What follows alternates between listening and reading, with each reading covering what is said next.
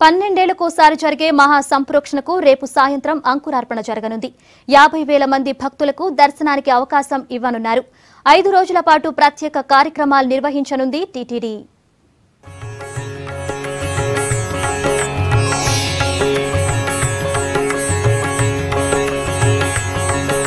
తిరుమలలో మహా సంప్రోక్షణకు రేపే అంకురార్పణ జరగనుంది.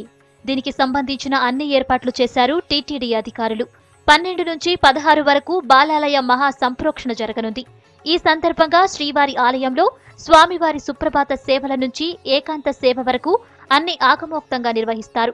మహా సంప్రోక్షణ ప్రారంభానికి ముందు రేపు పాత కళ్యాణోత్సవ మండపాల్లో ఇరవై ఎనిమిది కుండలాలు ఏర్పాటు చేస్తారు.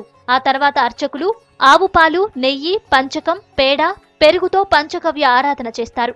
రాత్రి తొమ్మిది గంటలకు శ్రీవారి మూల విరాట్లో ఉన్న శక్తిని కుంభంలోకి ఆవాహన చేస్తారు. ఆ తర్వాత కుంభంతో పాటు శ్రీవారి గర్భాలయంలో ఉన్న ఉత్సవ మూర్తులను యోగశాలకు తరలిస్తారు. దీంతో యోగశాల బాలాలయంగా మారుతుంది.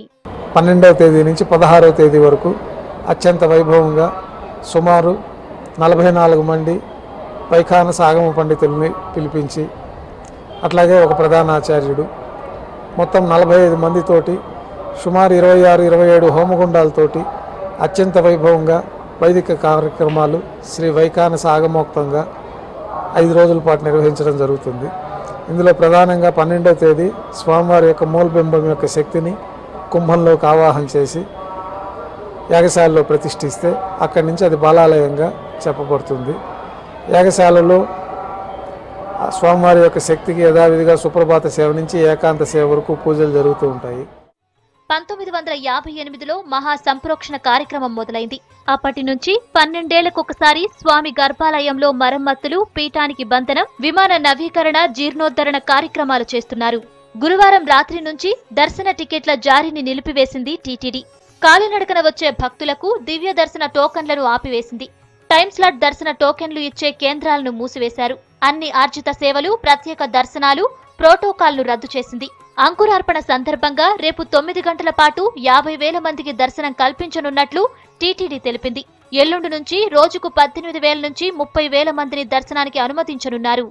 ఈ ఐదు రోజుల పాటు పదకొండు నుంచి ప్రారంభించి మనకి సమయం చాలా తక్కువ ఉండడం వల్ల పరిమిత సంఖ్యలో భక్తులందరినీ కూడా క్యూ కాంప్లెక్స్ ద్వారా దేవాలయానికి పంపడం జరుగుతుంది కాబట్టి మళ్ళీ ఒకసారి భక్తులందరూ కూడా సహకరించాల్సిందిగా మనం చేసుకుంటూ మళ్ళీ ఈ మహాసంప్రోక్షణ కార్యక్రమం పూర్తి అయ్యాక పదిహేడు నుంచి ఎంతో వైభవంగా దర్శనం అవకాశం ఉంటుంది కాబట్టి ఎక్కువ మంది భక్తులు తన ప్రోగ్రాం అంతా కూడా దాన్ని బట్టి ప్లాన్ చేసుకోవాల్సిందిగా మనం చేసుకుంటూ ఓం నమో వెంకటేష్ మహా సంప్రోక్షణ ముగిసిన తర్వాత పదిహేడు నుంచి యథావిధిగా దర్శనాలకు అనుమతివ్వనుంది టీటీడీ.